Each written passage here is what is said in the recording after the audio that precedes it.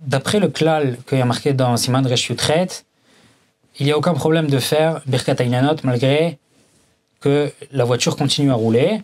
Malgré que la voiture continue à rouler, si j'ai vu l'arbre et torqué des dibours, donc on va dire euh, 2-3 secondes, après que j'ai vu l'arbre, je fais la bracha de Birkat Aylanot.